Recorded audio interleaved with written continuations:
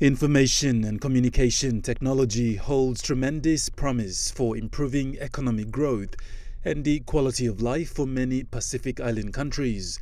The Pacific Ministerial Dialogue held today is a pathway to strengthen and create a shared outlook on the current state of the information and technology sector in the country and the region.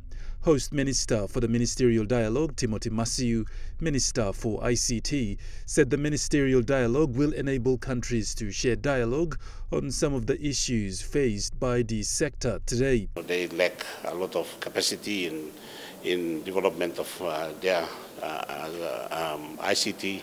And of course, uh, in this world today, you have cyber issues. And, and we need to be, in, in the Pacific, need to be very, very um, uh, careful. We need to look after ourselves, and uh, and so that is one of the reasons that why we are having this meeting here in Port Moresby. Deputy Chief Information Officer for the Vanuatu Prime Minister's Office, John Jack, in his speech addressing other Pacific delegates, talked about the smart islands, what it means to boost connectivity to unlock open Pacific potential between the island countries.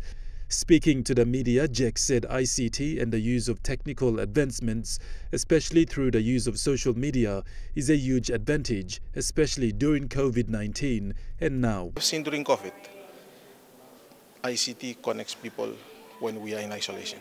And therefore, this declaration will pave a way forward for us to foster development as well as develop our economies in the Pacific. And I'm so proud to be in Papua New Guinea today to uh, be part of the Pacific ICT Ministers uh, Dialogue meeting.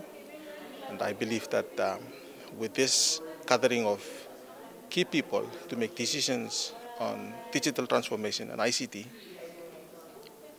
the Pacific is on its right path to development. The ministerial dialogues started today with four sessions where ministers from different countries in the Pacific Islands Forum Secretariat, including host country PNG, shared policy statements as well as shared presentations of their country's current outlook on the ICT sector.